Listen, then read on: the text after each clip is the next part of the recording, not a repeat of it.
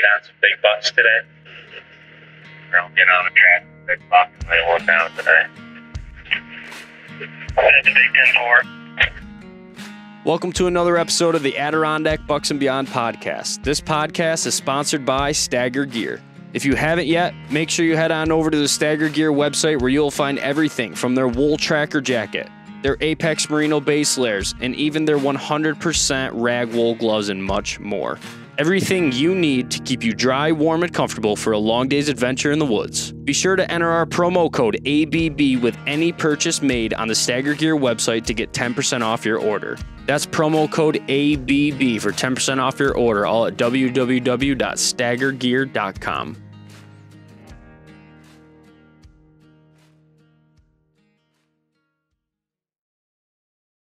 Hey, what's up, guys? I am just getting done editing this podcast you guys are about to listen to right now. Um, I just wanted to jump on here and give a huge thank you to uh, Ben and Brian for joining us for this one. Uh, we've been really looking forward to this podcast, as we'll say, and um, it, it did not disappoint. Um, came out great, other than one thing which I wanted to jump on here and address. Uh, if you guys are watching this video on YouTube, you're gonna see that one of our cameras is popping in and out of focus. Completely my fault. Um, you know, I set up the whole entire thing. We have to bring all the stuff there, uh, set all the audio recorder, recording stuff up, set all the cameras up, make sure they're in focus, make sure they're in the right spot, and I forgot to switch the focus on the camera that's facing Brad and I. So it's going to sit there and pop in and out, and it's super annoying. I tried keeping it off us as much as possible. Um, and anyways, Ben had a really cool background with all the giant bucks. And stay tuned at the end of this video, um, or at the end of this podcast, because after we're done talking, I take some shots of Ben's uh, man cave with all of his bucks and uh, share some pictures that he sent to us um, that we wanted to put in the podcast and are super, super cool. So, with that being said, that's all I wanted to address. I uh, hope you guys enjoyed this one as much as we did. And uh, yeah, thanks for listening. All right, guys, welcome back to the Adirondack Bucks and Beyond podcast. Today we're sitting here with Ben Secor. Um, this is a podcast we've really been looking forward to doing for probably about a year and a half now. Yep. Ever um, since we started getting into the big woods, Ben's pictures were actually I remember seeing Ben's pictures online before all this stuff took off, and a lot of times I would actually see him on um, ADK Hunter that Dan mm-hmm. Ladd does out of Fort Ann. Yep. yep. And I remember it always said Ben Secor from Remsen. yeah. And, and it I, was always big hog bucks. I had no idea who you were, and then Brad's like, "Look at this Ben Secor guy. He's shooting big bucks every single year." And uh, so since then, we wanted to sit down and talk with you, and appreciate you sitting down with us today. Yeah. That would so. be fun. And we got uh, and we uh, got to meet Ben for the first time last year. Yeah, he was. We were talking about. Yeah, just such a nice guy. Then, yeah. Yep. So. so. yeah, it all worked out today. We are in the area and here we are. We're gonna have lots of yep. stories, as you guys could probably see in the in the room around us. There's big butts, big bucks, and elk and mule deer all over the walls. So yeah. lots lots of stories. Um, yeah, we'll just kind of jump right in. Do you want to start with his buck from this year? Yeah, we uh, we'll tell some buck stories along the way because we would like to hear about the buck he shot this year because he's a good one. We actually got to put our hands on him when we first got here yep. too. So yeah, I actually moved him over here. Oh, that's oh, beautiful, perfect, right in the camera view. Yeah. so, yeah, that's a buck that um, we had pictures of for a few years. I kind of forgotten about him because we only got like one picture and it wasn't great. You know, I was pretty sure he was still alive, but last year he was a real, you know, taller tines yep. actually, um, but he's no slouch now. I don't think he's. Oh, so he went downhill. I, yeah, the really? tines were longer. Um, definitely last year. Boy, but the mass on him is. Yeah, that's that's a beautiful block. Yeah. So it was like the second day that we had um, track and snow. Um, the first day we got like an inch, um, real packy stuff during the day. Um, I did. Uh, I guess that day I had gone out over by my tree stand, just kind of looking for tracks. One tree stand is like three and a half miles from the tent, so mm-hmm. I'm like, mm-hmm. I'm just gonna head that way and see what I cut for tracks. Cut a couple tracks that were um, like decent buck tracks, sure. but I'd seen a couple bucks out by the tree stand in that same country that mm-hmm. I'd actually let go, and uh, so I was I followed one a little ways. I saw a cow moose um, that day, and the tracks were, you know, snow was coming down as I was following it, and I kind of got mixed up anyways. and they were going in towards where the moose was, and I didn't really want to bother her, and kind of going towards the private land too. So I, the other thing I didn't tell you, once I got out to my tree stand, I had service. So I'm checking my. I've got a cell cam there Sure, at that sure. stand. Yeah. I've got another one two and a half miles away as the crow flies. So I look on the, uh, checking the The the app there. pictures. You know, that's first I've and I've got a, a great big buck on camera. We'd had the night before, like just before dark. He was back there seven fifteen in the morning, Oh, no kidding. and um, he has like stickers off his G twos and stuff Yeah. too. Yeah. And so I'm like, well, you know, do I mess around here? Do I go back there? And I'm like, well, I'm gonna straight line it, go back there. I know what that track is. If I can sort it out, you know, and I figured maybe there's a hot doe around there. So you figured you'd already stepped over his track. No, I think um, no, I hadn't. He had gone in and, and checked. It was kind of the different direction from the tent. Um, so I ended up going back there. I got back there. It's like 1.30, 2 o'clock. I went over a mountain to get there. I kind of hunted my way back. I wasn't really on a mission to get there because the track was from the morning and I wasn't sure I could sort it out anyways. Sure. And I actually going over top of the mountain was the str- straightest route, and I hadn't been up on it yet. So I went up there. I got up on top, and um, I started seeing a couple deer tracks. I grunted and um, a few times, and um, nice little six pointer, no brow tines, comes around and stands there. I could have shot him with my bow. Yeah. Yeah. You know, like I just stopped in the right spot, and he was 50 yards bedded from me, and he had a doe with him too. I didn't see her, but he came around. There's enough crunch in the snow, I could hear something coming. I had the gun up, and Yeah. I always wanted to shoot one on top of a mountain. I think I was telling you that Yeah. last yeah. year, and I never have. Sure. And, Which is going uh, to lead into something we want to talk about later. But so um, so I let him go, and um, I go down, find the track from the morning on this Beaver Dam crossing where my camera is, and it went in, and it's all snowed in, and he went just a little ways, and there's tracks all over. He was dogging does around, but s- snow and the uh, filled all the tracks up. So I tried to make a half circle, and I did get a fresher track. Ended up tracking, I think, a small buck. Um, Yep. I had blowing at me. I don't think it was him. Um, so ended up getting dark. I never did get a look at the deer. My buddy Rick was on the other side of this like beaver flow. He saw a big rack buck um, chasing a doe, and um, couldn't get a shot at it. The doe came out in the trail, and he's got the gun up. It's like 70 yards, and he's just waiting for the buck to step out following. He never stepped out. Oh, And um, so that was this is the day prior. So overnight we are supposed to get snow, and we did get another inch or two of snow. And um, and not to So- interrupt, but you you guys are up at tent camp, right? And Yeah, h- how yeah. far in is your tent camp? we're six miles in. Okay. Wow. So okay. We push deer carts in. It's, right. Uh, yeah. We'll, we'll we'll get back to that too. But I just wanted to set the precedence that you were Yeah. you were six miles in at tent yeah. camp. I'd been in there for a few days. You had gone out. It was. We went in after Thanksgiving. Brian and I, um, Rick, and Kevin. No, Kevin didn't go in yet, but uh, I lose track no, of different. Rick wasn't in yet. You had gotten your deer Saturday, Yeah. and we'd taken it out Sunday. So Monday it was the day I was talking about where I, Right. you know, yeah. we had the the big one on camera, and it wasn't wasn't him. Yeah. Um, so let's see. Yeah, so the that night Rick sees the big rack buck on the other side of the flow ground, and I had had one on my side that I think was a smaller buck. So we're like, we're gonna go back there in the morning. He was gonna go back the around the one side, and I was gonna go the other.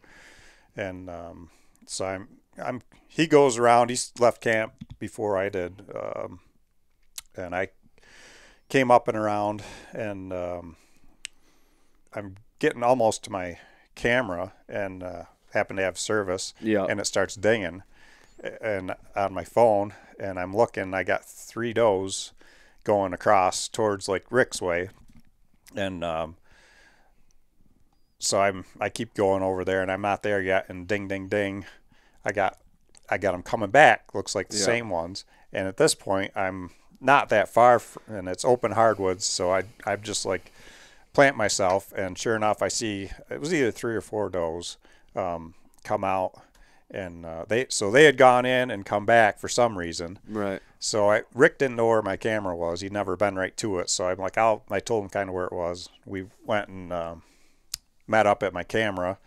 ch- Double checked that quick because I wanted to the big one from two days before. Yep. They had the stickers and stuff, Yeah. and I wanted to get the other pictures because those cell cams only send one Yeah, and they're all and they're picture all out of the three because I got it, you know, set to take three. Yeah. So we get there and it's just the does, but we got better pictures of the the like non-typical buck. There. Is that a new buck that you've never seen before? yeah, or he just showed up. Yeah, like interesting. um, so the day before in the morning, the ni- night before that, daylight.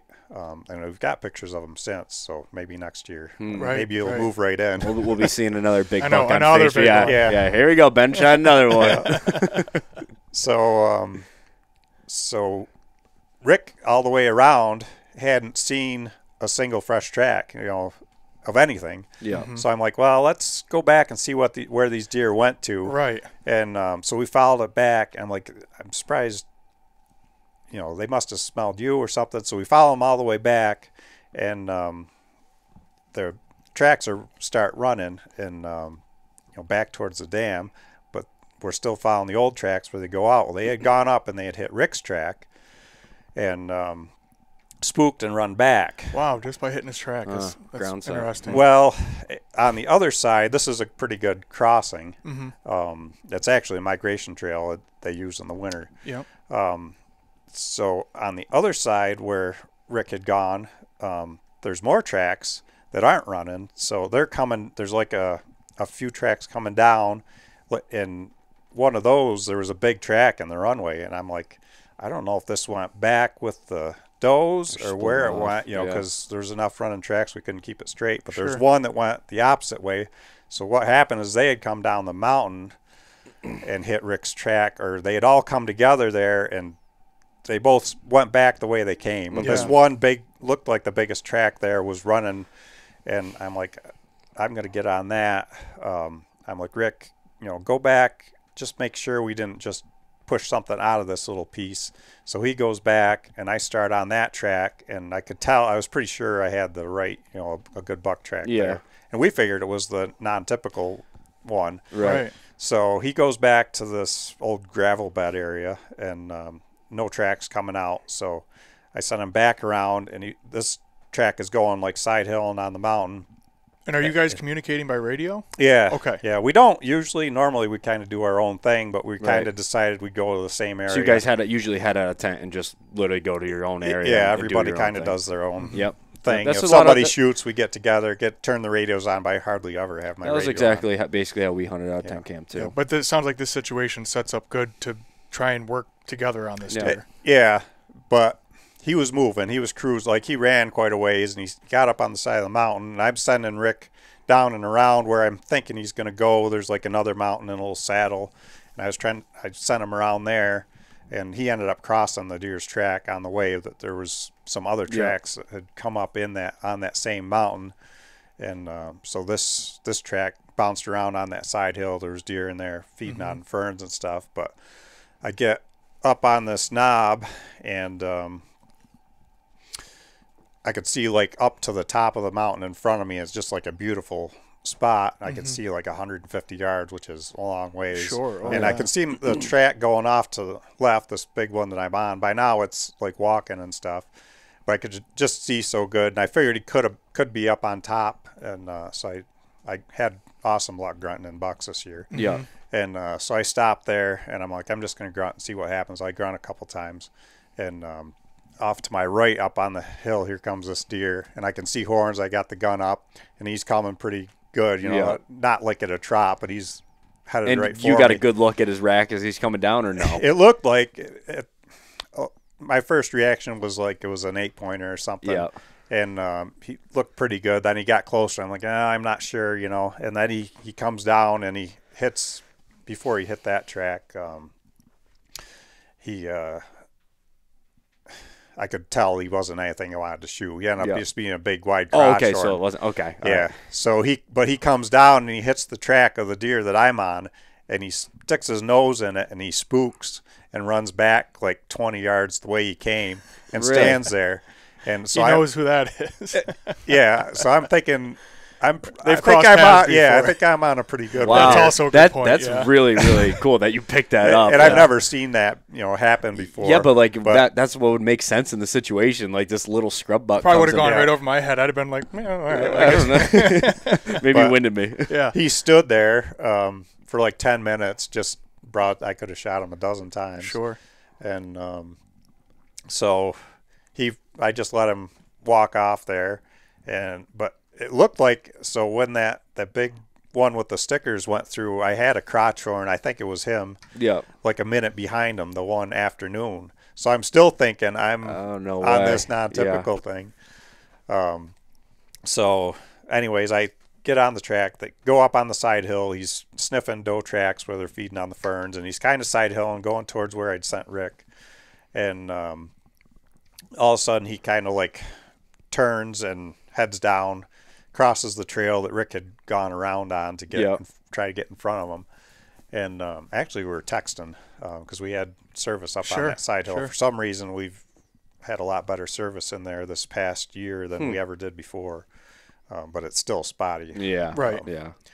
So I told Rick on the radio, you know, we he'd already been through. He's like, yeah, he said, I saw that track on the way up. It was it wasn't too far from where I'd sent him, but it, so from there it goes down this real thick swamp, and I'm like, you know, you can try to get around, you know, but I don't know Sure. Right. where to send you really. So he's like, well, I think I'm just gonna do my own thing, and um, so I I stay on it. Go it takes me down a thick spruce swamp, and um, there's a big like river, you know, stream, something you can't get across there. Yeah. He's kind of parallel, and I'm hoping he's not going to cross that because I, I could get around on it Take you a while. if he though. did, but it'd be a little um, a little bit of a jaunt. It'd be, it'd be a nice adventure for you. Yeah, I, you'd have to swim most places to get across there. Yeah. But- So he kind of went down. He paralleled that, and he's headed back towards our tent actually, and um, what we call um, the Black Forest, but it's across the water. So he he goes down in. There's uh, another like feeder stream to that main stream. He gets down in that, and that's all like, you know, just Sure. thick, thick alders. Oh, yeah. And you know, I'm not trying to be quiet. I'm just kind of barreling through there, and I can see that he's, uh, you know, I knew he was a ways ahead of me, anyways, at that point, because he had bu- just bounced around on that side of the mountain. He hadn't wasted any time. He hadn't Right. fed or rubbed a tree or anything. Big track on him or average Pretty track? good. He looked about the same as that that one uh, that 11 pointer from two years ago. Actually, you know, the, pretty rounded in the front. Yeah. and Yep. a good track, but not like a monster track. Sure. him. Right. It was like a three finger track, I'd Yep. say, maybe Okay. a little bigger. Yep. And um, but yeah, he was by himself. Um, went down into the through all those alders. I fought my way through those, and um, he comes to this feeder stream, and it's kind of like um, that one. You don't really want to cross either. There's very few places where you can cross it, but it's there's like shell ice on top of it, so it's just skimmed over with ice Yep. Yeah. maybe a half an inch or something. Right. And they don't like to cross ice when it's Yeah. like that. Yeah. Because it's, you know, 25 feet across. It just kind of meanders down through there, Sure. um, not fast moving. So he gets out in that and the grass and stuff, and I can see both ways good. Um, I didn't figure he'd be out there anyways, but uh, so he starts paralleling it. I just stayed on his track, and uh, I'm like, you know, hopefully he crosses in a good spot, or I got to go back up Right. um, and around to get around. So um, he goes out, and uh, all of a sudden I can see some open water up there. And it was an old beaver dam, and I could, but there's only like a couple sticks, you know, Yep. sticking up there. Yep. And the water was just moving enough there that there was no ice. And uh, so he went up and crossed there, and I'm looking it over, and I've got my um, those Crispi boots on. They're like 12 inch, Yep. and Yep. um, I'm looking at it, and I'm like, boy, I don't, you know, Yeah. I'm like, I don't know if I want to be wet the rest of the Yeah. day. Yeah. So, but I'm like, well, I might as well go for it. I'm not that far from the tent. If I get wet, I can go back. I got another Right. pair of boots and Yeah. get dried off.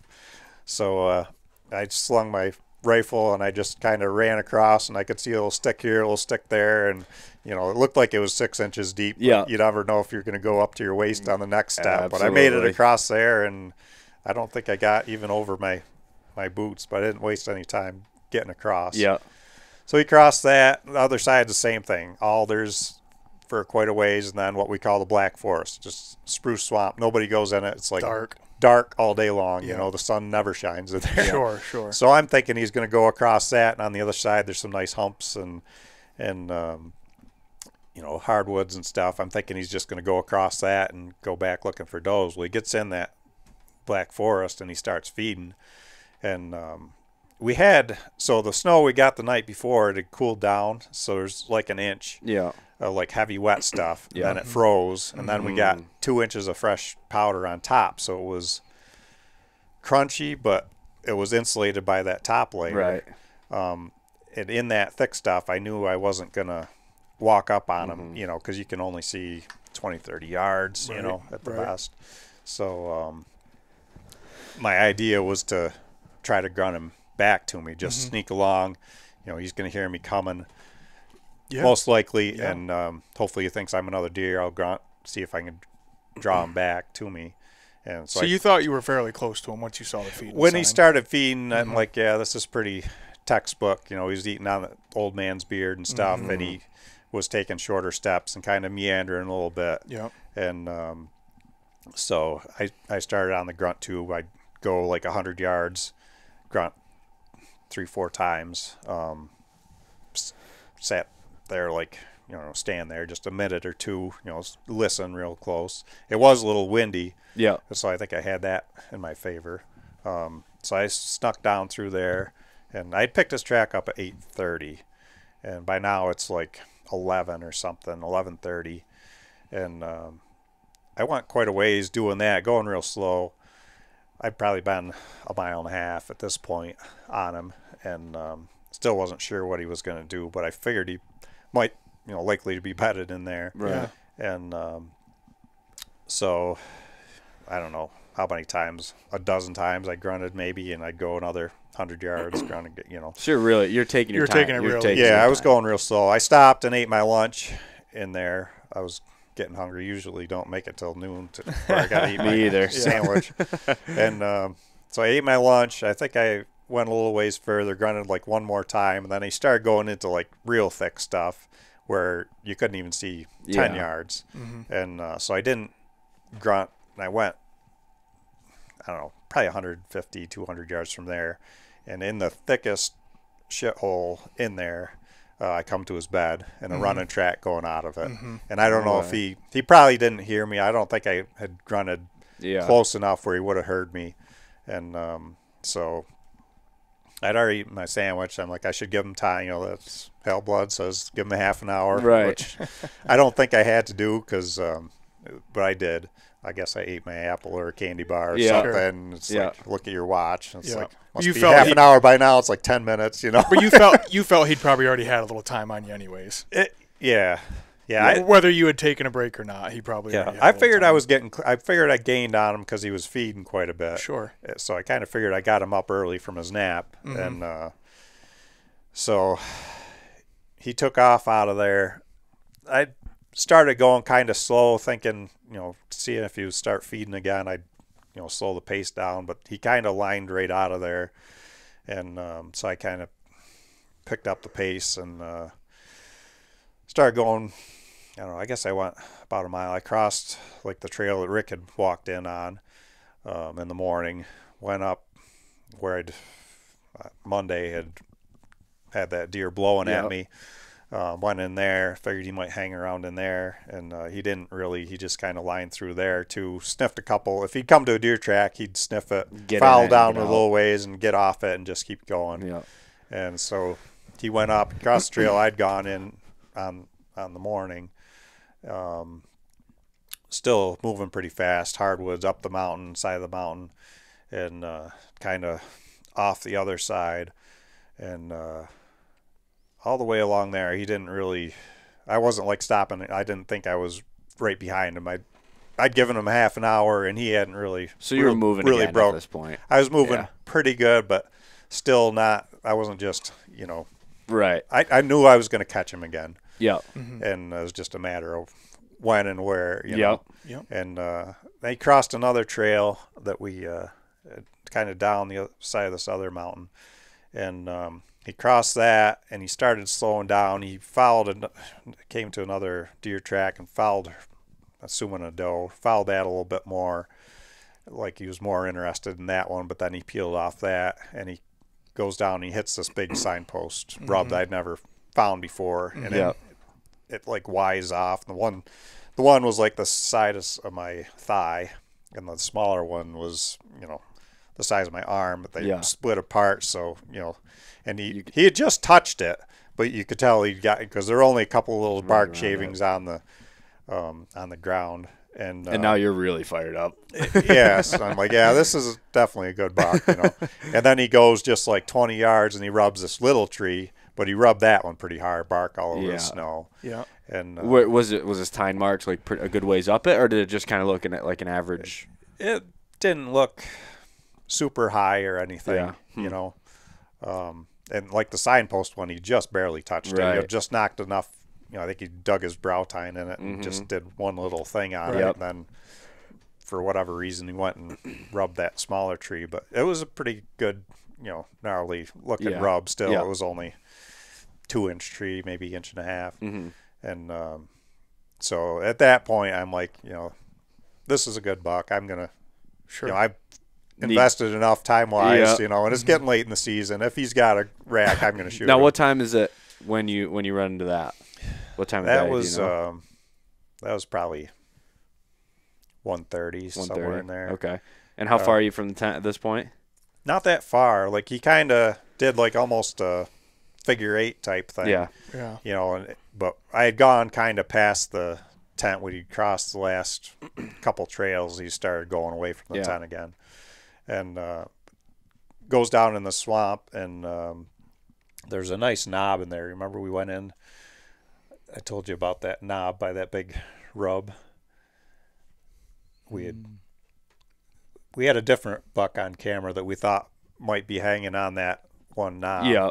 And we had checked it out and we saw the moose tracks in there. Oh, yeah. You remember there's just a cow moose had gone so. through there. There's old rubs and stuff, but it looked like nothing fresh had been hanging Yeah. there. So he, he starts heading for that. And, um, you know, I knew where I was.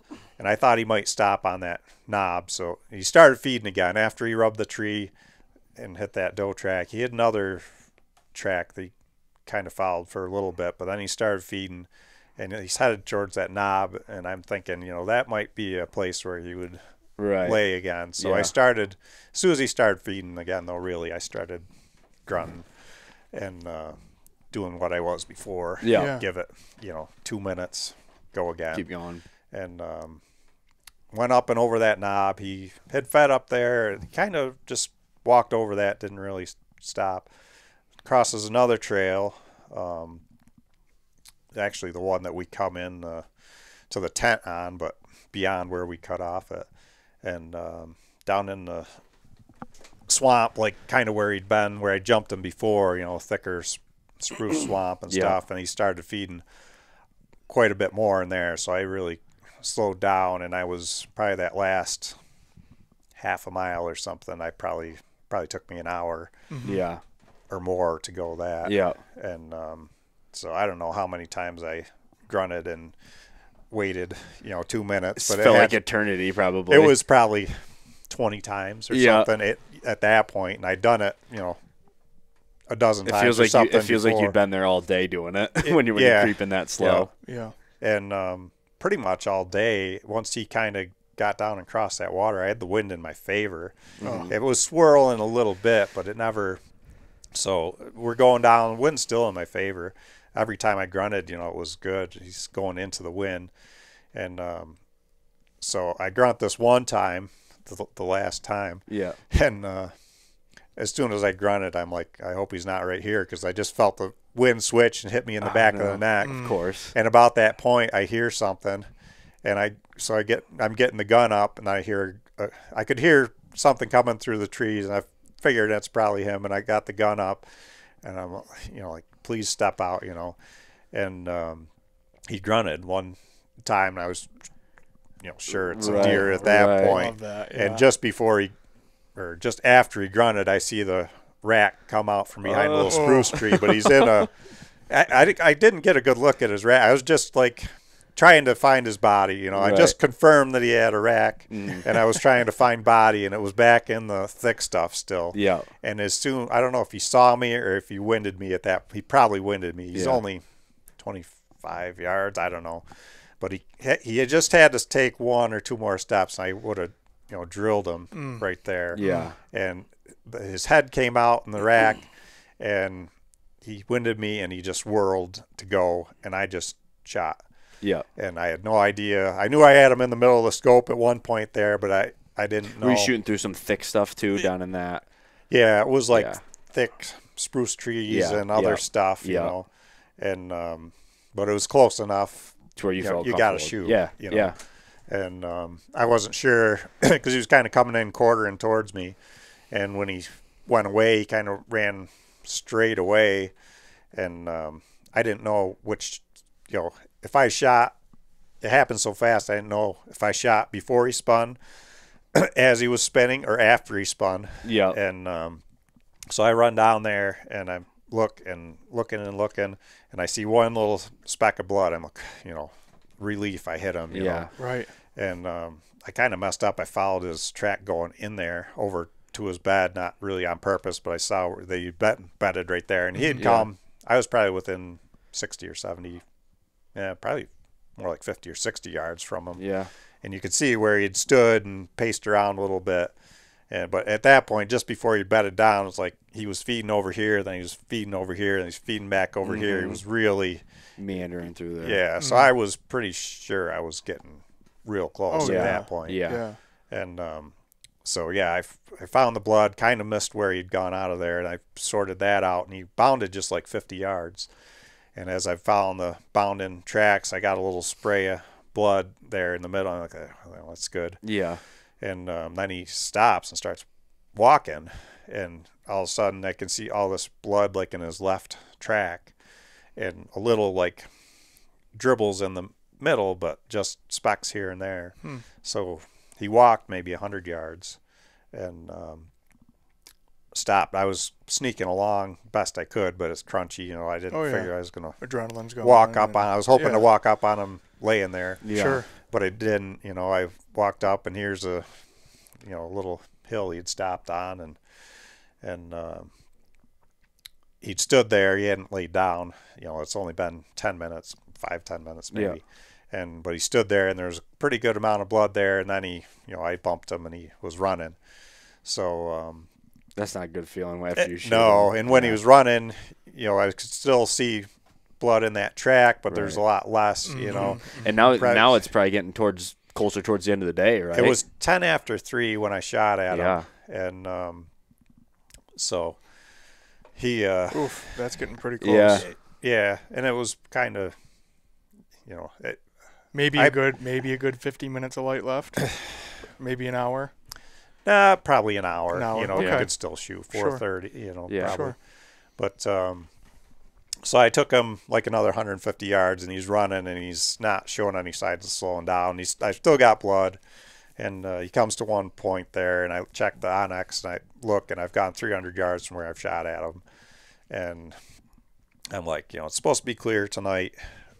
I think I didn't apparently didn't hit him great. I think I got one into him decent. I have no idea where the track blood in the track didn't really make sense to me um, a lot. So I'm like, I probably the smart thing to do is leave him for the night. yeah. So that's what I did, and I so I hit the the trail and go back, um, get about a half mile away from there, and it starts snowing like crazy. Oh, Oh no. And I'm like, it's not supposed to snow tonight, you know. Yeah. And uh, so we got like a half an inch as I'm walking back to the tent. I get back to the tent by dark, and I fill Rick in on what happened, and uh, I'm running the scenario through my head, you know, all that night times. before we go to bed. And Yeah. I did sleep all right from like eight to we go to bed early at the tent. There's Nothing anything else else to to do. do. Yeah. nothing to do. So I, I fell asleep good. But I woke up at like midnight, which is you know like the middle of the night. Yeah, yeah. and I laid awake the rest of the night just Oh. trying to replay it all in my head. Oh, you know, yeah. Yes. the two prior bucks I wounded before that, um, one last year, I didn't get, and the one you know several years before that, I didn't get. I th- I chased it to somebody else. I think Yeah. that ended up getting it. Killing as him. far as I could tell, Yep. it went onto private land. and heard a shot and assumed they'd got it. Sure. Yep. Um, so I was, you know, like 60, 70% confident that I was going to find them. You know, it didn't snow much more during the night. So uh, next morning we made plans. I, Rick was going to go with me, try to get out ahead of where I left him. So he, he did get around in, in a pretty good spot. And um, I went back to where I'd left him the uh, night before and fouled it just maybe another 200 yards and he had run and then he'd s- slowed way down and walking and then he, I see a bed with blood in it and but still that dusting of snow Right. right beyond that there's another bed with blood in it like a lot of like smeared on the snow you know not like pools of blood but just like Where was it in the bed? you As of couldn't really tell it was all tell. over like smeared around Right, you know. okay, and yeah. um it was i don't know one bed another bed within like 20 yards probably he had bedded you could tell he just couldn't get comfortable. He was laying down. He'd stand there. He'd lay down. He'd um so and i'm look i go to the next bed and i look and i see the next bed with blood in it and it's still Yeah. got snow in it. So i go to the next one and see the next one ahead and i'm i'm going as you know i'm thinking He's gonna be right Oh, there. he could very well still be alive. Sure. and um, so I'm being as quiet as I can, but you got that crunch in there still. Mhm. And, uh, Impossible. i- yeah, and you can't see very far. Mm-hmm. You can see 15, 20 yards where he, where all this took place. And I'm expecting all the blood to see like coyote tracks come in here, and I find the coyotes got him and Yeah. finish the job or something. But actually, that morning in the dusting of snow, I was nervous he'd run in with other deer, might get mixed up or something. But it was two miles from the tent, all the way out there, um, and Rick went around ahead of me. Um, neither one of us caught a fresh track from the night before. Sure. So, and the, the prior night, I had seen two or three tracks as I was going back to the Right. tent. Right. And um, so I'm sneaking along bed to bed, and um, s- I don't know, six, seven, eight beds there. And uh, all of a sudden, I hear them take off, and I got the gun up, but I can't see, you know, just too thick, and I never did see him. So I go over there, and there, you know, that, you know, the last like two beds didn't have any of that dusting of snow in them, and um, so I get on the running track, and I go along, and then uh, I went maybe a, a hundred yards there, and he had bedded right back down. So he, he got up and took off, and I got a good look at him then um, as he took off, and then he came into a little bit of an open, go, going away from me. I was ready. Sure. You never really knew initially how big of a buck he was. No, no, I just knew you know he could have been a you know 16 inch wide, you know eight pointer. Oh, he know, sure he sure isn't that. and uh, with signs like this, Right. but uh, I just knew I'd seen rack, and I thought it was a pretty good one, but I didn't really. yeah. I was just trying to find body to shoot at. Yep. And uh, but yeah, when he started bounding out, I saw like like the second bound, and uh, I was on him, had him in the in the scope, and uh, I shot, but I and I hit him. He didn't really show that I had hit him, so I hurry up up there, and I've got just um, hair like a graze, and no blood. But I think I I did hit him better than I thought. Um, it had he'd been going away from me hard enough that I'd skun like I opened up the top of his back, like you could see the back straps, but didn't really touch the back straps. Right. And it had Oh, gone really? along the top of his neck, but it had gone in his neck. Oh, interesting. Oh really? Um, Huh. I'm pretty sure, you know, it's like you, it was like bouncing along the top of him. Right, right, You know, hit you him at couldn't right tell angle. if he it went in or if it had just Right. took a, another chunk of meat out and kept going. But I'm Yeah. pretty sure it did end up in his neck there, Mm-hmm. because uh, after that, um, he only went another 50 yards, and I'm just sneaking along on the track, and it's starting to open up, and there's a hill there, and I can see good over the hill, like 60, 70, 80 yards out in front of me. So I'm looking way out for him, and I'm just one step at a time, you know, quiet as I can. You know, I got the gun half up, and I'm sneaking along, and uh, I don't know, here to the doorway, maybe Oh my 10 gosh. yards. He's laying behind a little spruce tree, you know, this Yeah. head up, you know, he's still alive. Right. And I I'm like, oh, he's right, right there, you know. Yeah. and I just, yeah. you know, got the gun to my shoulder. I didn't dare take a step to the side or something. I just put it on Brown through that tree and I shot, and it was just a little Christmas tree, not even a half a Christmas tree, and um, just enough to hide him. Yeah. And um, I shoot, and he flopped over there, and Oh, I and- got up to him, and I'm, and I didn't realize he, you know, I'm like.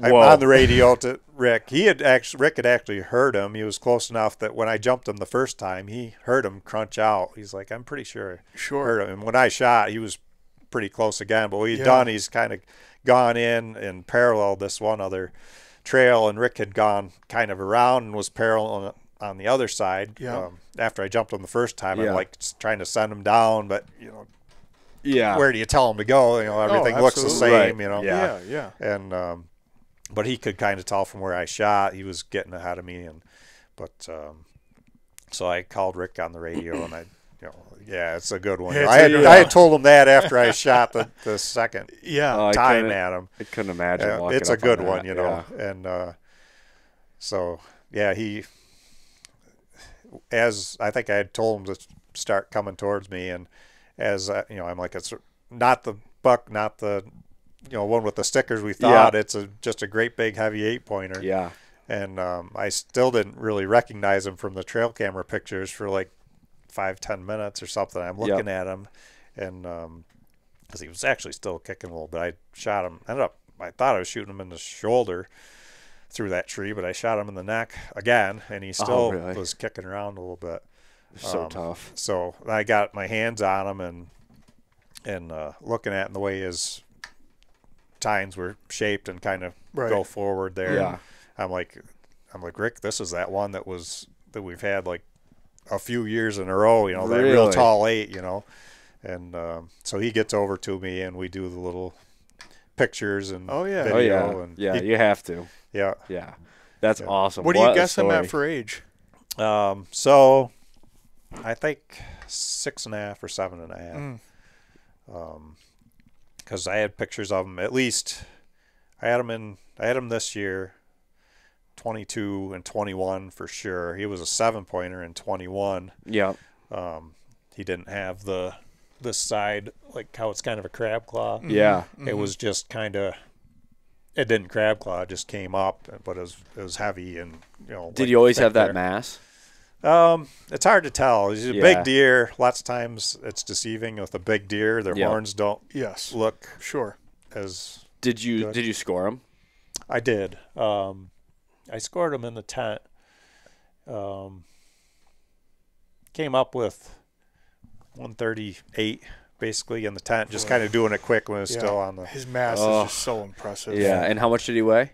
177 Yeah. at the hmm. tent. Yeah, we have we have to ask the Yeah. question. We ask everybody we have on. What's what's the average weight? Do you think of the bucks that you're shooting in the Adirondacks? Pretty much the big ones like that are 170 to 185. We got a pile of them in that. Right. Have you shot a 200 pounder in the Adirondacks or no? I keep trying. so doesn't everybody, I think. Yeah, I see a track here and there. We've gotten through the years. It's been like 25 years. We've been going up there, and we've gotten five or six. Rick got one um, last 205. Um, that was probably five or five or six years ago, maybe. Yeah. Um, Do you, do you Yeah. feel like hunting out of that tent camp and having spent so much time in that area has contributed to your success over the years, as opposed Yeah. to constantly doing something different? Because we we've found that we still haven't necessarily found a home base in an area that we really like to spend the bulk of our time. Although maybe this year we kind of Yeah. established that. And we wonder if we really spent time year in and year out in a particular area, if that would help us get on better quality bucks because you start to get a better idea who's in there. Yeah, it definitely helps. You know, I know where how they move through there, one group of deer Right. to the next. You know, there's just pockets of deer. You might go two miles and not see a deer track. Right. You know, but I kind of know. But it don't seems know. like you have some phenomenal gene pool out there because I mean you're Yeah, you're shooting deer that are, are a lot bigger than most guys are shooting in Right. the Adirondacks. Well, we're just in far enough that um, Yeah, I you want know to talk. nobody else goes there. I Right. mean, a couple other guys, you know, but I mean, our tent camp this year was 2.7, and and that We was a that was a long. We everybody, must escape most everybody, but that that was a pretty good walk. I mean, six miles is nothing to you, but for the average person, six that's a 12 mile round trip. Yeah. just getting in Right. and out of camp alone, let alone whatever you hunt. so I between. figure once we get four miles in, we're past any day hunters. you Oh, know. you're well Absolutely. past. Any, I mean, from our experience, you're well past 99% Where, of hunters. So I, I I've told this on a recent podcast where our tent was like you said it was like uh, just under three miles. Yeah. And um, I walked in there a couple days on the snow and uh, there was no tracks past a mile on on, on an easy walking trail Right. too. I mean all of them cut right up the mountain or right off. So I mean you had three miles back in there like you're beating Let ninety alone nine percent. Six. Yeah, let alone six. And you guys are you guys have you ever taken like horses in or anything? Or are you straight walking? Yeah. So when we first started going in, um, Brian started smirking. He knows the answer to this. Yeah, Yeah. I, I want to hear this. This is cool. the first year, they pushed a deer cart in. It was just Rodney and Kirk and my father went in to kind of scout it out and uh, stay like I don't know if they stayed four days or something. They ended up camping um, five miles in, and um, they hadn't brought enough water or drinks. Uh, yeah. Rodney ended up shooting a nice, real nice buck. Actually, that one weighed 198. Like four days later, because they brought it out whole. But they packed all their stuff on one big deer cart, and um, so uh, I guess the water they had like one soda to split between them for the five mile haul out with the deer. and Yeah. all- Oh, that Yeah, does that's do not a damn when you're piled up. dehydrated. Oh, Yeah. So um, so they determined that it was a good spot to go. Yeah. And um, I made the comment to Rodney. He kind of gave me a hard time for quite a few years about it. I'm like, oh, if Rodney can get one in there, anybody can get one in there. so, uh, like seven or eight years later, and I still hadn't killed a buck in tent camp. he kept reminding your me, words on that one. and Yeah. he's shooting one like every other year. Yeah. So the following year, we um, we were gung ho, you know, we were going to go and stay a week, and Alan had um, mules that he would log with. Oh, that's awesome. Um, so he, he's like, uh, we'll get a snowmobile trailer, hook it to the forecart, you know, put all our stuff on that. We'll go in for a week. He had just bought a big Montana canvas tent, Yeah. and uh, Are these some pictures we're getting in here? Yep. Oh, good. Yeah, we'll have to, we'll have to get ones. those in. Uh, Yeah. We'll take some pictures yeah, of yeah. them. With permission, of course. Yes. yeah, I think '99 was the first year I went in. They '98 was the year that Rodney had got his. Uh, It's starting to sound like we might need to get a hold of this Rodney guy too. yeah, yeah, he's a character. Yeah. oh But, uh, wow. That made Okay. it easier, huh? Yeah, but then we still ended up making like two trips because now we got seven guys, a tent and a cook shack, a wood stove. Yeah.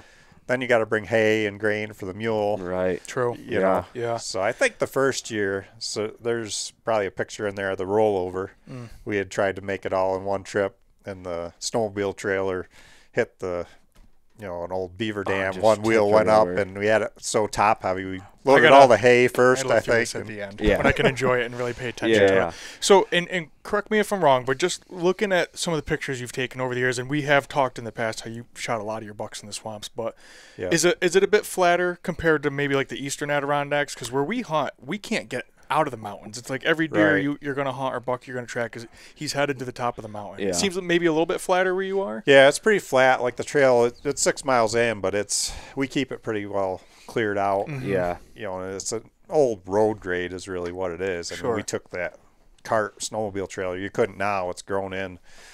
is this lease ground within the park or this is state land? Oh, it's um, state land. Okay. Yep. Yeah. But it wasn't always, you know, like Yeah. most of the state land. Oh, are, oh, of know, course, of And a lot of those conservation easements are, Yeah. they're still. Yeah, which we had no idea about. Yeah, we until we hear a lot about, about- conservation easements out Yeah. in the western Adirondacks, but Yeah. I, I'm not familiar with them back towards where we are. Yeah, the landowner gets a tax break to uh, put them in a conservation easement, and they can still log them, Hmm. log the property and all that. But some of them you're allowed to hike and that kind of thing. Others you can hunt and fish. So I believe it's kind of similar to what they do in the Midwest, right? With farmers who have land and they turn it into public basically, and they get tax breaks like on hunter it. access type Yeah, stuff almost. yeah. But And there's some of them that are conservation easements, but there's still like hunting leases. mm-hmm. You know, it's all every one I Huh. guess is got different rules, Yeah. so you got to kind of figure That's it out. yeah, I've hunted some of that ground, Sure, um, and had sure. some luck, but so so every year you guys are hunting out of your tent camp solely, basically. no, No. no, we bounce around like uh, oh, you do. a little. Okay. I'll follow snow too. Okay. Um, yeah. Yeah. the one year we got too much snow in the tent, 2018 maybe. Yep. Um, we were in there. We'd only been in there three or four days, and we had s- snow, Mm. and um, we were supposed to get like another foot or two, and we did. You know, and I I hated to pull out, Right. and um, but we figured Sure. Too much. You it's know, too much. Yeah. to get out six miles with all your stuff and two feet of I can't. snow. I can't imagine. I mean, the farthest we've gone, and, and granted, it's very steep terrain, but the farthest we've gone in is like just about three miles, right? Yeah, that that's what's hard for us is it's so steep where we've hunted that we don't dare really want to go past three miles because by the way the crow flies at the end of the day at the ups and downs it feels like it's closer to six and it's pretty exhausting. And and like we said, usually, I mean, now now that what have we done? Two or three years we've done tent camp, I think. uh, two years. Two now. years. Yeah. Um, every time we've done it, you know, the the distance we have gone had, like I said, we've beat out every other. We've never ran into anybody. yeah, I've never ran into anybody back. It's at been tech helpful. camp. So I mean, would would you say that you find that there are plenty of big bucks that stay deep in? They don't all come out towards the roads and such. Yeah, it's hard to tell. They make. I figure they make at least a ten mile loop, fifteen mile Sure. loop. So they might know, spend some time. You Yeah. know, so they're probably a five mile radius. Do you, know, do you thinking most of believe though, bucks. like you know, you, you always hear you always hear people say like, oh, the farther you go back in, the bigger they are. Like, do you think that's the case? I mean, I, I would Uh, say by well, the bucks you shot, maybe. When I was dragging this one out, um, as we go in there, there's private land on one side and water on the other, and um, so you can't really hunt most of that. And um, when we were going out together before the snow came, we saw this great big track. I'm like by one of the beaver dams, and there's a deer, smaller deer track next to it. I'm like, is this a moose calf or is this a big buck Right, track? Right, right. And then when I was dragging him out in the sled that day, right fresh in the in the trail, there's this great big Oh no. tow way. dragger, you know, Oh. 200 pound track, Sure. and uh, Oh. you know, going right towards the private land. I'm like, you know, I'm tagged out anyways. But, Right, Yeah, right. yeah. But No, next I- year. yeah, oh, that's awesome. but yeah, there there's big buck. There's small bucks in there too. You know, I saw a pile Right. of bucks this year in there. I've Mm-hmm. like my best year. Um, was probably the, previous year. I saw three rack bucks in three days, and I thought I was doing That's good. crazy. This year, I grunted in like a whole bunch. The one Brian shot and a bunch of others. The two I just talked about. You know, Now, was there any consistency to as of like what like certain areas where you were grunting these bucks in, or was it just kind of felt right grunted and just felt in? right. Like there wasn't beech nuts that I could find this year, so all the deer were kind of concentrated in the seemed like in the swamps or near water. Right. You know, and um, lots of days I had just a dusting of snow, Right. and um, so you see a, walking along, you know, half mile, you don't see a deer track. Come to a deer track, must be deer here. I'll Yeah. grunt, Right. You know, Right. keep Yeah. seeing deer tracks, keep grunting. Keep you it simple, right? and um, yeah, it's it was. You want to tell your story? We grunted Yeah, let's hear it. that it. one in. Let's hear it. So I think going into this year, I haven't seen a buck in there Yeah. at all. I think I've seen maybe a handful of does. Mm-hmm. So like the first weekend I went in, I was going in Friday, and then I would get a full day to hunt Saturday, and then I'd walk back out Sunday, so I could go to school on Monday. Yeah. So I did that like three weekends in a row. Oh, So like the first weekend, we had we were coming out to the beaver dam or a big beaver pond, and there's a beaver dam that goes like kind of diagonal. So like the end that we were on is closer than the farther end, and a buck comes tearing across that.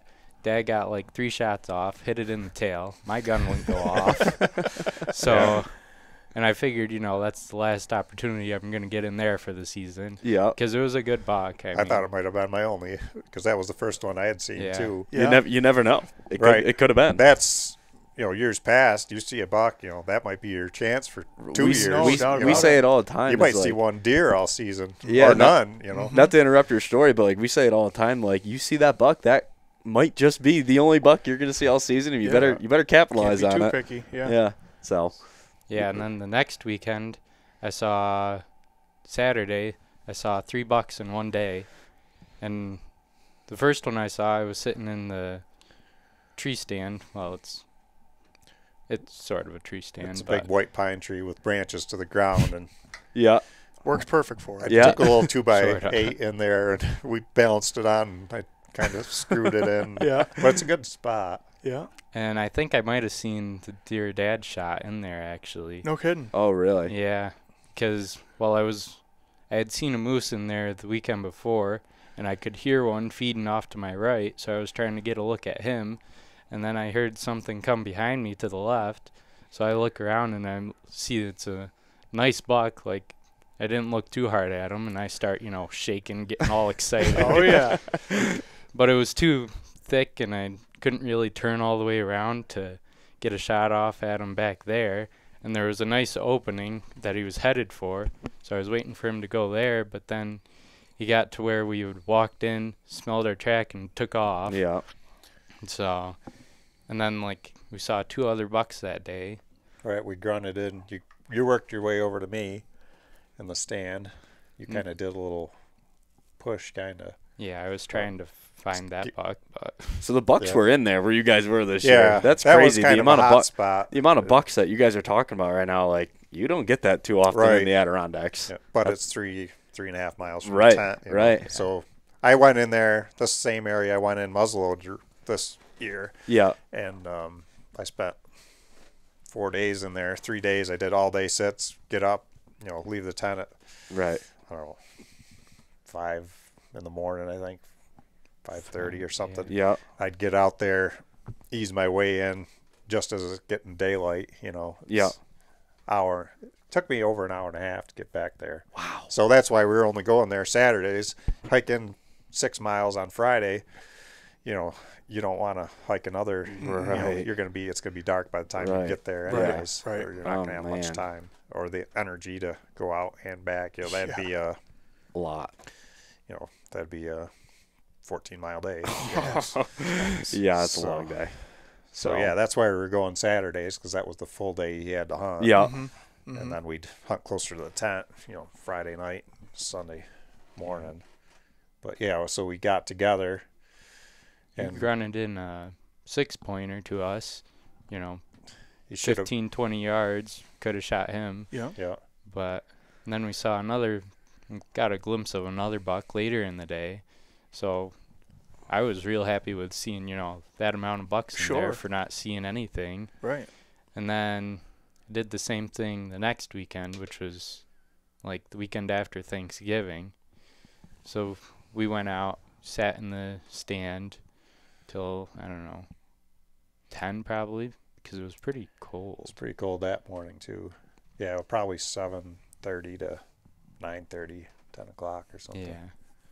So we kind of, and it, the ground was too crunchy. The leaves and everything were making too much noise to like go directly on the trails. Right. So Dad figured our best chance was just to sneak around in the swamps and grunt if we found a good spot.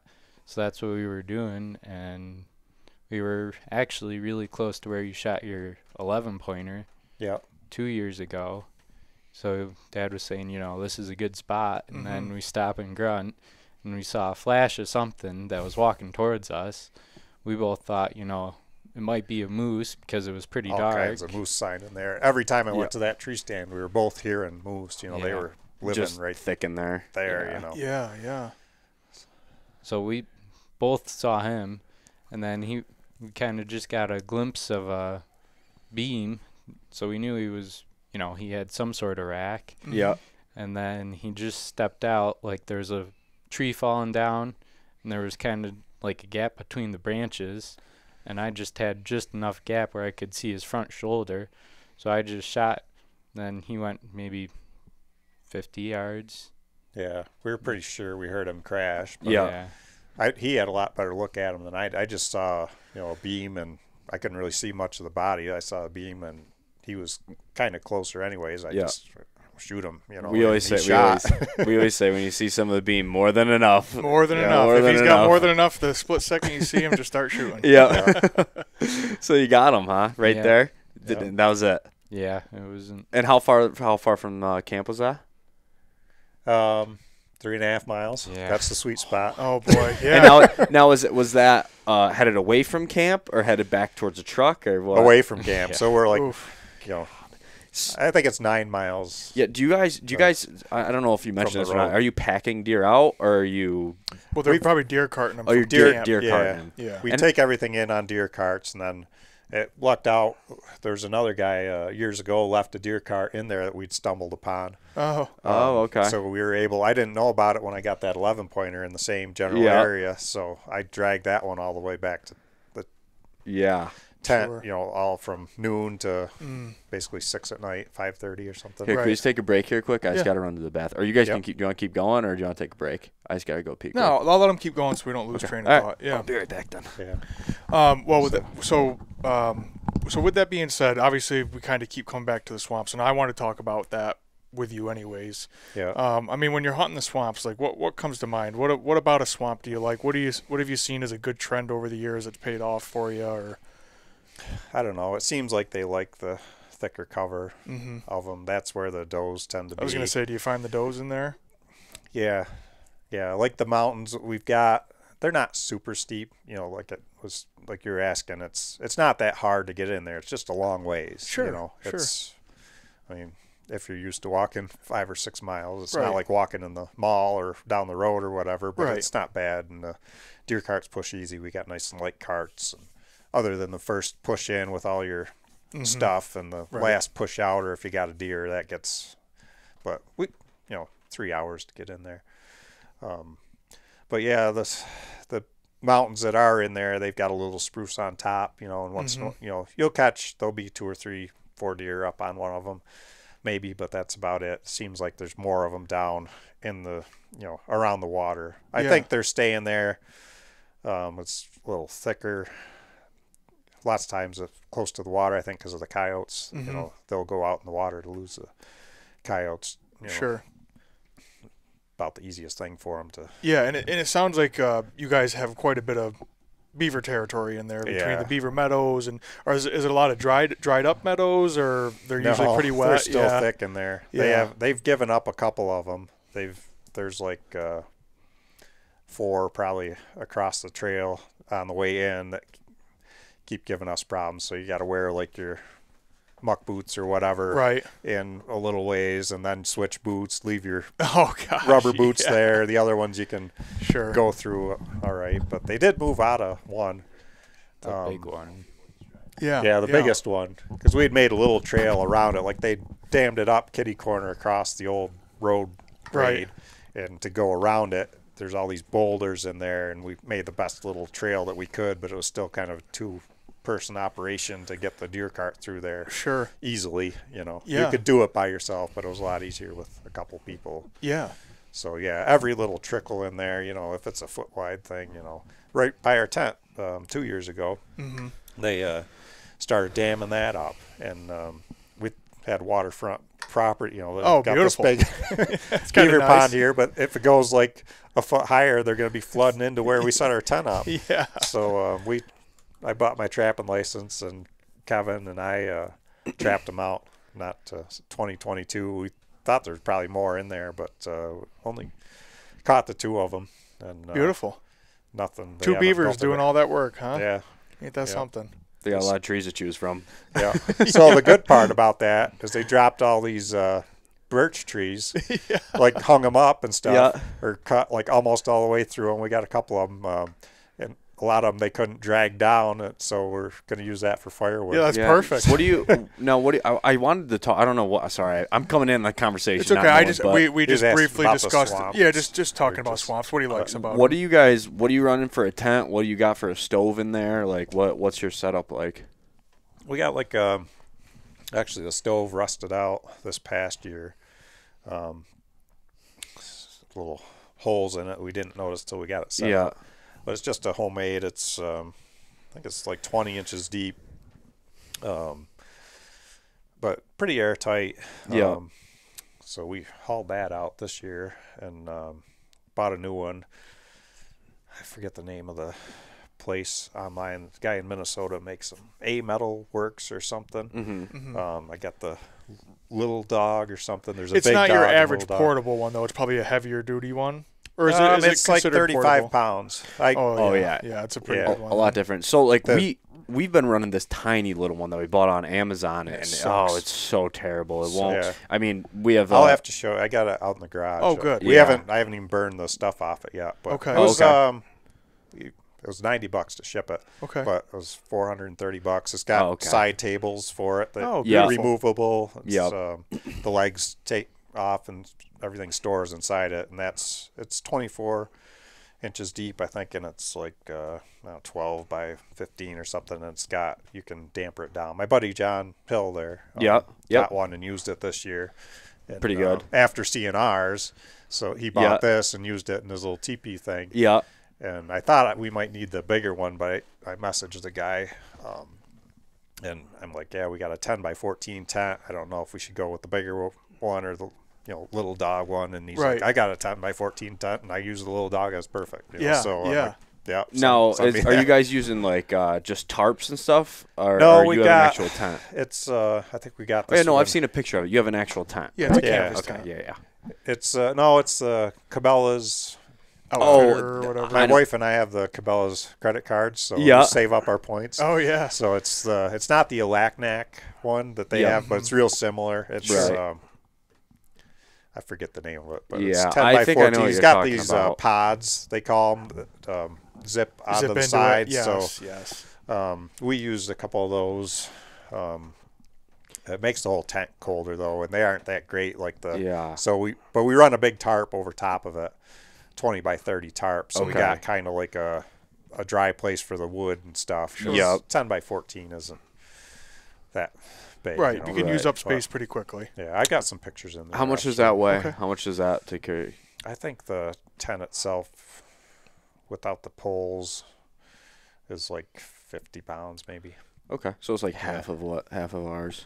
Yeah. I mean, I'm sure their deer carts are extremely helpful. Yeah. Because we're packing everything in, and that's just Right. a nightmare. Well, you uh, can't get that much stuff in. Another thing, and, and Todd Mead had brought this up to us. He, do you guys use single wheel deer carts, or are you using the double No, wheel? dual wheel. Okay. We've got aluminum ones. Um, Yep. The steel ones, you want aluminum because they're 30 pounds lighter. Now, did you get the those custom made, or you buy them somewhere? Um, Kevin and his brother um, had two of them custom made. Mine's a API that makes tree stands. okay. Yep. Um, they used to make these game carts, and I bought one new, put bigger wheels on it. You want pneumatic wheels too. The wheels that came on it were like solid wheel or solid Right. rubber. Okay. The snow builds up on those. Yep. And the Cabela's carts, the solid wheels too. Like it's like you're making a snowman. The Right.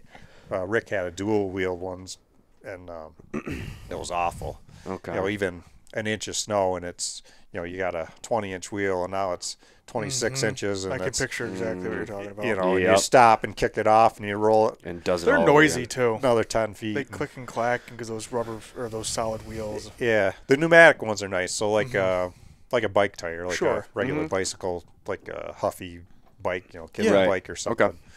Um, so we put those on them. Um, so yeah, I, so I picked up another one um, off of Craigslist or something, and I got one. I ended up getting one for my father too. So we've got three of them between us. And There, there's so much stuff that goes into tent camp that like you just want to like. I remember when we started, we are like, yeah, we're just gonna drag this tent up here and run Yeah. out of it. Like that's what it's gonna be. And like people don't realize how much work it is to a get it in, bring it in as light as possible, do all the wood while you're up Yeah. there, get something to eat at night. Like we say it all the time, it's so much work that that Yeah. people wouldn't even realize. And then add hiking in six miles, twelve mile round trip. That's that's a lot. Yeah. That's a lot. But it We seems to be worth it and pays off for you guys. yeah, So we don't do really short trips. Like Brian's going in and hunting basically two days. You know, a half day, a full day. Yeah. Oh, a I half give them a lot of credit for that. yeah, But I yeah, I don't like to go in for less than like four or five. right. I did um, ten day. Well, I did the two. I s- we went in Friday, Veterans Day, and I stayed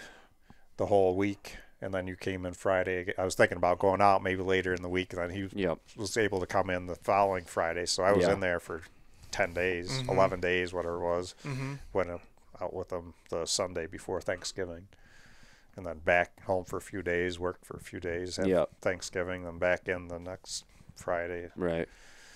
Yeah, dedicate a lot of time to it. But So- yeah, it's um, it's a lot of work. We don't take them. You can't get the mules in there anymore. Alan doesn't have the mules anymore. We took one mule the first year, then we took a team, then um, Tell them your runaway story. yeah, there's been a couple of those. Oh no! yeah. So I don't know what year it was, but we were taking two mules in and um, got in there the first day, got the tent set up, and um, had enough time to uh, go hunt. You know, I think Alan was. No, everybody went and hunted because uh, Alan's like uh, Daisy was the one like older mule. Then he had this younger mule he called Little Dick, Yeah. and um, I'm assuming he's the one who ran away. well, they both ran away. okay. Little Dick would chase the coyotes out of the town. that was little prick that ran away. yeah. so he tied Daisy up with like a long, you know, enough rope where she get, get her out and feed a little bit and left hay out there. You only have to tie one up and the other one will hang around. So, um, well, Alan thinks that somebody showed up and let the mules loose, you know, Oh, let Daisy no. loose. yeah. And um,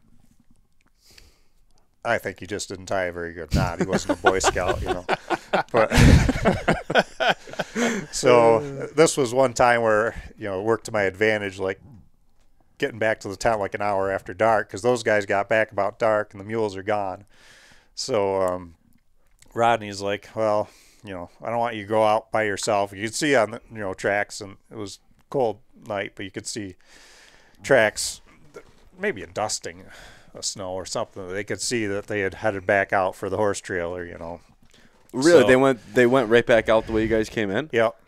Yeah. Just just instinctual of them to do that or I don't know. You know, Huh. who knows what That's they're pretty Probably thinking. just, You know. They probably just stayed on the trail and never left. Yeah. Yeah, Huh. that's what they did. Yeah. So Rodney's like, I'll go back with them. You know, they had rode in on the on the forecart. You know, so there's Yeah. a little cart, you know, just two seats and a little uh, place to hang the reins, and Yeah. then there's a hitch, and then we had a snowmobile trailer. Yeah, we saw a picture of it in the in that book Yeah. and, and we'll have to share it on here if, if you want us to. I'd Yeah, love sure. to, I'd love to put it up in the video. But at the end. Yeah, yeah, it's pretty cool. So uh, so they take off, following the tracks, hoping they're gonna catch them along the trail.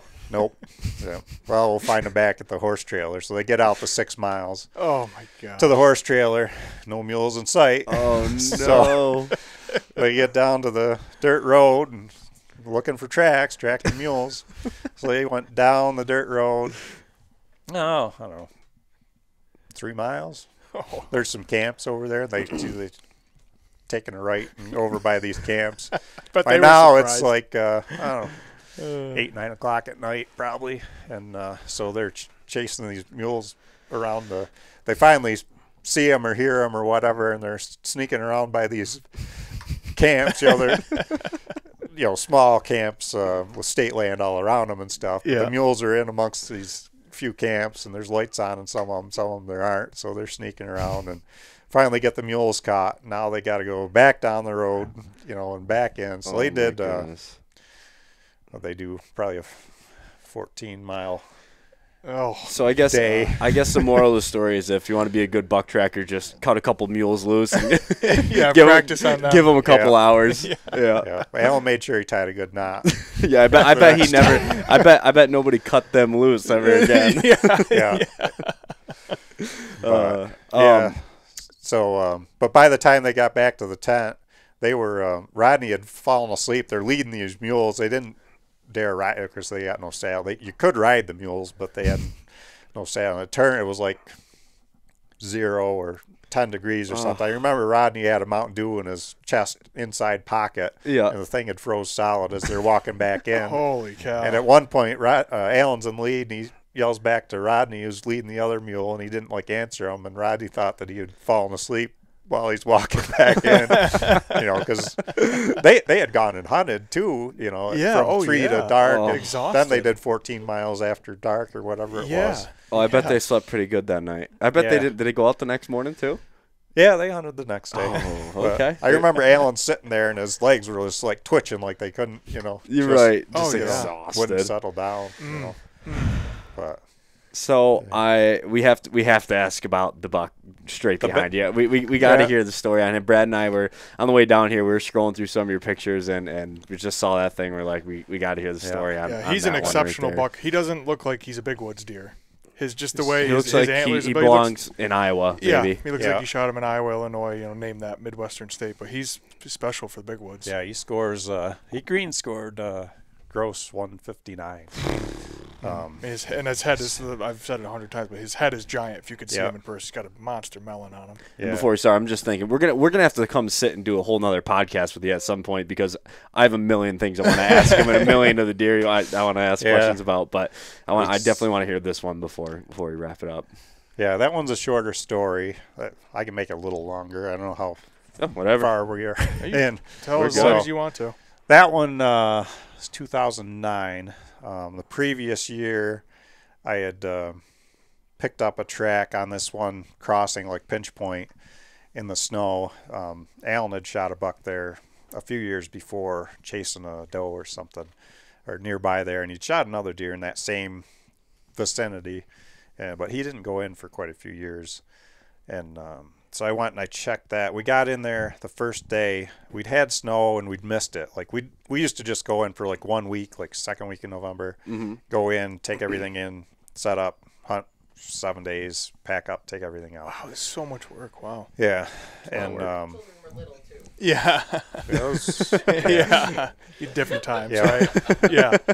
yeah. Brian was. I got a great picture of Brian holding that rack when he was like three years old. Oh, Oh, really? Yeah, That's awesome. I'll have to show you guys. Yeah, that. yeah. You'll look back on that forever. You'll Yeah. always look back on that. But so we got in there. I had just enough time to make a loop down um, to this like pinch point and see, you know, 'cause there's a sandy area there where you could always see tracks going through. And I did put a camera there the year after I killed him, I think. Um, but I got over there and we'd had snow beforehand, and it was like the day we pushed in, it was like 50 degrees, like a warm front was coming in. And um, I got over there, and there was just like a little bit of snow, and I could see this big deer track in the snow, like in one place. But it looked like it had been from that day. And when I was coming up to that spot, I kind of, I wasn't sure I jumped a deer, but I thought I'd heard something go, you know. Right. And um, so, but the track was pretty impressive, and the, the where I tracked him through the year before, he had broken the ice. I don't know if it was him or not, you know, but it was a big deer track, and I ended up getting close to him, but not seeing him. Mm-hmm. And um, but he had walked through, and the I could tell it was in the daytime because I'd picked his track up. You know, it was like ten o'clock in the morning when I got there, and it had been a cold night the night before, but he had to walk through the water and he broke the ice and it hadn't refroze and it was still a cold day. So I knew he'd crossed there in the daytime, or at least deer were crossing there in the daytime. Right. So I made a little ground blind there and I figured it was going to be a warm week. You know, we kind of hit it wrong. And I'm like, my best chance is to sit. You know, I'm not going to, it's supposed to be like 60 degrees tomorrow. Mm. And um, I'm just going to make a spot, a little ground blind here to sit and watch this little, you know, I got this 15 yard swath to, you know, there's a beaver pond up above me and there's a mm-hmm. pond down below me, but there's like a chain of beaver ponds and that pond below me is like a half mile. So, you know, if they're going from this side to that side, they're then don't want to get their feet wet. They're going to mm-hmm. come through there. And you found that the beaver ponds tend to choke deer pretty good if they can. Yeah, they'll avoid- follow along the edge of them. Sure. And they'll cross on those dams a Mm, lot. yeah. Mm. You know, I'm Yeah. sure they'll if they're they'll swim them too if you're Oh, yeah. pushing them hard. But Right. I think in general they don't like to swim if they don't have to. Yeah. So I kind of decided that was my best chance for that year is to hang out um, in that little ground Makes blind. sense. Yeah. and um, I had a chair I took over in there and um, just kind of brushed it in, and uh, let's see, yeah, I went back. So the next morning, I I uh, I made my little ground blind. I didn't sit there. I went and poked around some other, you know, scouted some other spots. So I'm like, I'm gonna go back there.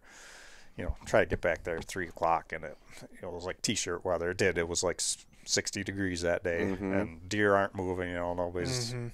shooting anything. You know, seeing anything. Sure. I got buddies that are out west. You know, and same thing out there. You know, this Mhm. warm front had come through. So I'm like, I'll sit there. You know, I'm I'm thinking it's gonna take me all week. You know, I was gonna sit there morning and night all week and just hunt. You know, around during the day because I couldn't sit all day All at that point. no, I get Right. it, I get it. And um, but yeah, first night, um, got back there at three o'clock or whatever, and I don't know, it was maybe fifteen minutes before dark, and um, a few birds come out.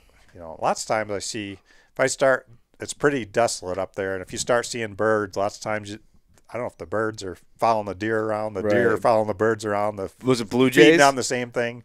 No, it wasn't Yeah. Blue Jays. It was. Uh, I've heard though. Uh, my Yeah. one buddy says, "You hear a Blue Jay, you get ready." yeah, I've always said that too. yeah, I've always been a believer in that. yeah, and But I, it is interesting how the ecosystems kind of work like that. yeah, and when you're sitting there, you got nothing else. life to is life out in the big woods. So Well, I mean, you something's hear you hear on. Rodney Elmer talk about it all the time. He's like, listen, listen to your surroundings around you. He said like a lot of th- that buck that he shot a couple years ago that he you know he videoed. Mm-hmm. He, he was like, I stopped because the birds were talking to me. He said he Sure. said they were Yeah. they were It going just nuts felt all like around some me. a And, sixth sense type of thing. yeah, Yeah. Yeah. yeah, you do get that. You do. It- after a few days in the, you know, you start to feel like you're more Almost be- observant. you're more Yeah. aware yes, of you everything. become- Yes. yes. You're, Yeah. you're getting exactly you're what I just mean. sinking into your surroundings Mhm. basically. So actually, this is a little longer story, anyways, because so I, I, um, the birds come out, and I'm then I could hear something off to my left, and the way my chair's like facing like this, he's got to come here for me to have, and I got wide open, clear shooting,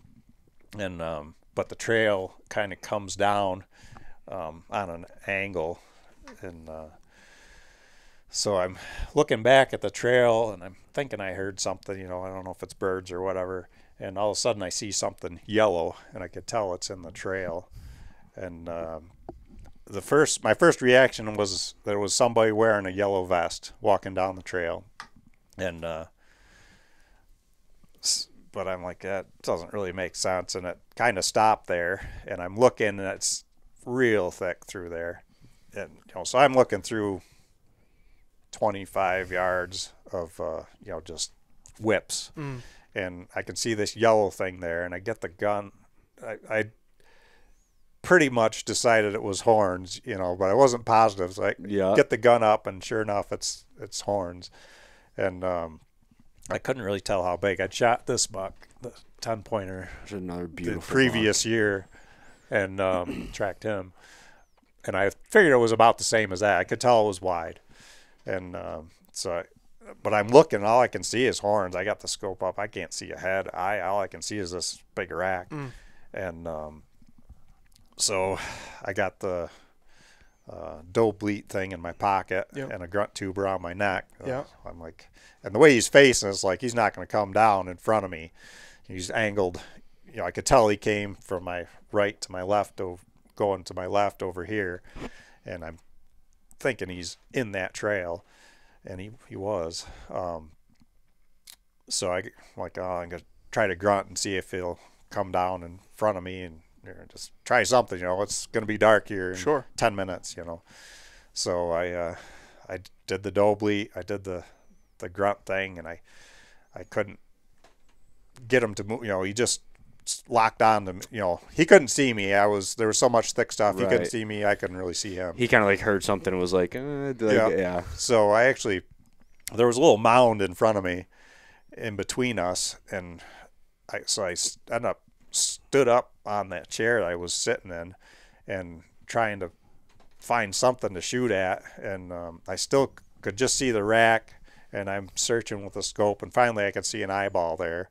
Yeah. And he's not moving. You know, I I tried the grunt thing and I tried the doe bleat like separate times. He's still not moving. Yeah. And I'm like, I got to shoot at this thing. Boy, when they freeze, they can freeze too. Yeah. They don't even Yeah. move a muscle. Yeah. So I, uh, you know, aim for that eyeball and um, shot, and I, you know, recoil gun comes back, and I look, and the rack is still there.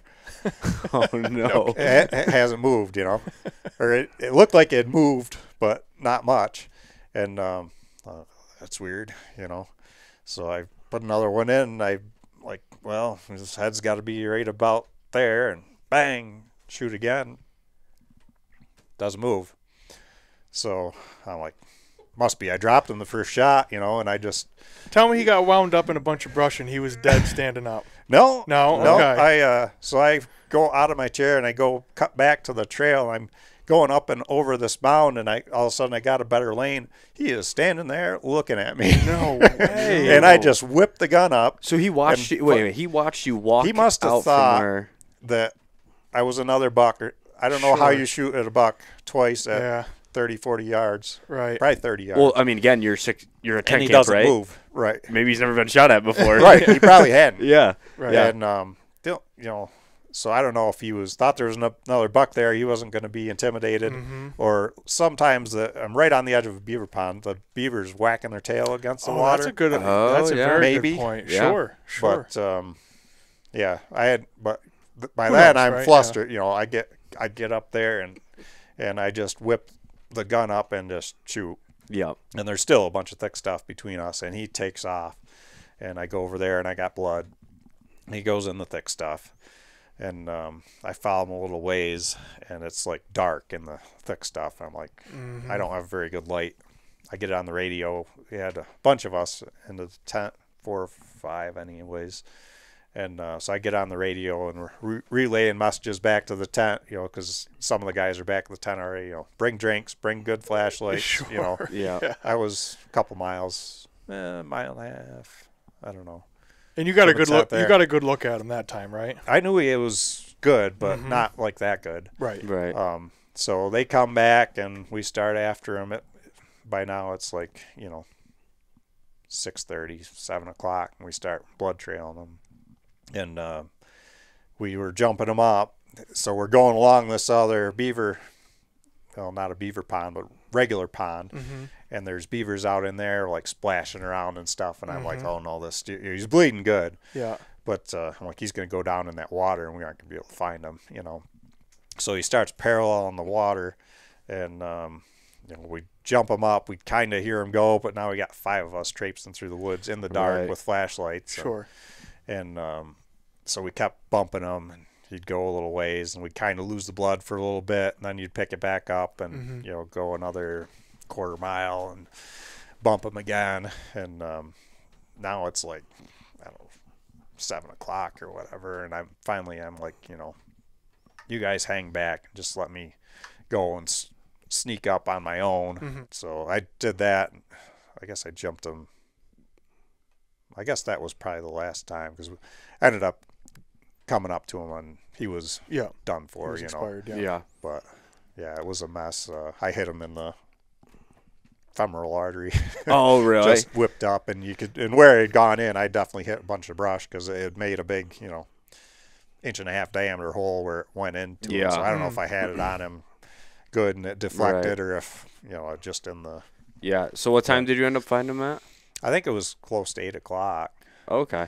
It That's not that's not too bad then. Yeah. Yeah. Yeah. But those guys had brought the deer cart, and so we had five. Well, we had to drag him ways. He didn't drag too easy. He weighed Yeah. 185. I was That's gonna say he had to have been a Yeah, good he, sized deer. I mean, Yeah. the size of his shoulders and, and his neck Yeah. is just like whoa. And what was the date on that? Did you say? It was. Um, I don't remember exactly, but it was probably around the 10th, Right. So 12th. so it sounds like you do like a lot of everything basically. I mean, you you sit, you you still hunt on bare ground, you track. So you're- Yeah. you're doing a little bit of everything. Whatever you got to do, you know, whatever the conditions allow. You know, you I got to I always say like your best chance. you know we, we actually just our in our most recent podcast we're saying like there's a lot of like um almost like I, don't, I guess you call them stereotypes like what you have to do to hunt in the big woods like some people are like oh i just track and, and maybe that's all they have time for but i'm most impressed by, by guys like you who who can do everything and and you know you go through your facebook and see all your pictures and you're hunting out west and, and doing all this other stuff and i'm sure that plays a big role also into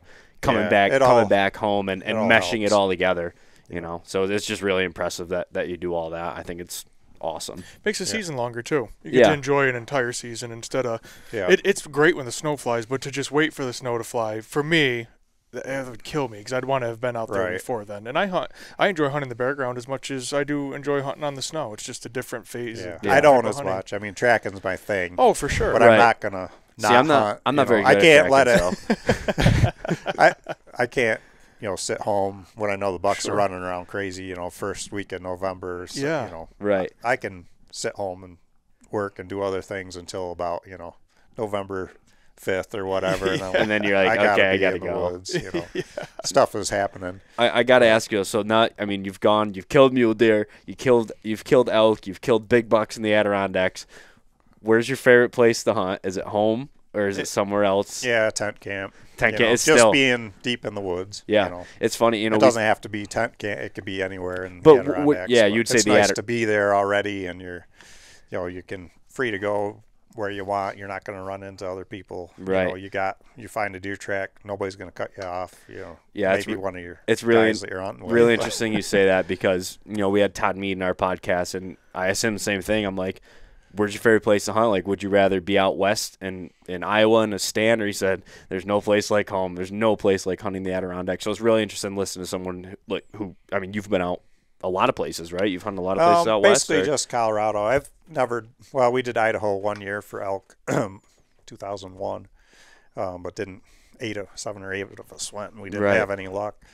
Um, just kind of hit it wrong, and uh, but every other trip out west, it's been it's like easier, way easier than hunting the Adirondacks. right, you I believe it. right, yeah, Not, it's still physically demanding and Oh, yeah. stuff, and but you get a mile in out there, and you don't hardly see people, you know, unless it's an easy, you know, roadway or something to go Yeah. get Right. in there. Right. But you don't want to go too far and shoot something like that and have to get it right, out either because yeah. they're a big animal. And, Right. Yeah, especially that one right there. I don't think I'd want to be lugging that thing out. yeah, we took the deer carts out for that one, and we had a choice to go bring them out uphill or down. Uphill, there were like trails, roadways. With might have been easier with the deer carts. We decided to go down. We had a, but there was no trail there, Yeah. and uh, yeah, we uh, got a flat tire on one of the deer carts. and Oh no. it was a couple hours after dark before we got out with them. We had that dual wheeled deer cart with most of the meat in that, and then the other deer cart too, the one of my aluminum ones.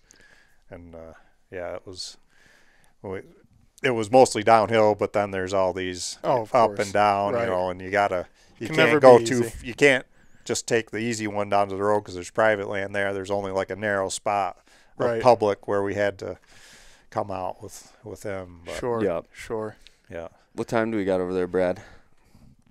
Well, the bad news is we're running out of time, but the good news is, is that Ben, we didn't even scratch the surface Yeah. on what we planned on I know. talking I'm, about. I'm You- sitting here and I so think did that, that lose? Did time you lose just one here? that time just flew by. No, I still have both think fingers. so. So. we're just gonna have to do a part two and probably a part three at some point. Yeah, I mean, I got I did- lots of stories. There's a lot about tent camp that. Yeah, know, there's the- just so much we we're just not gonna be able to cover, and, and, and I want to talk about it. So we're just gonna get the good. We'll do it again. yeah, We'll do it again but uh, for sure. I, I want to end just by saying thanks for coming on and doing this. You know, Yeah, we, like I said, we've we've really really been looking forward to this because we knew you'd have a bunch of stories and super relatable to what to what we do, and you exceeded expectations. Oh yeah, So absolutely. so I don't usually talk a lot, so it's probably the most my wife's heard me talk. that's great. well, okay. well, we can't wait to hear you I'm talk out. some more. So yeah, but get thanks, me going man. on the right thing. Yeah. Don't shut up. Yep. So. It's our greatest passion. all right, guys, that's gonna do it. That's uh, Ben Secor, and you'll definitely be seeing him again. And uh, we'll catch you next time.